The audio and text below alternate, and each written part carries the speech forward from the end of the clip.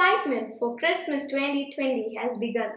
The best way to spread the Christmas cheer is decorating our interior. Let's start the season's craft with a bottle art.